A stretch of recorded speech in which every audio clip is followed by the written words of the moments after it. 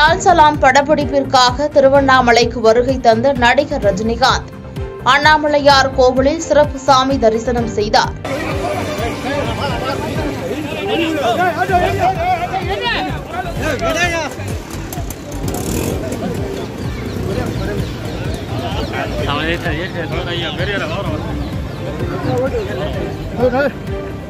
பாதகம் செய்பவரை கண்டால் நாம் பயங்கொள்ளலாகாது பாப்பா.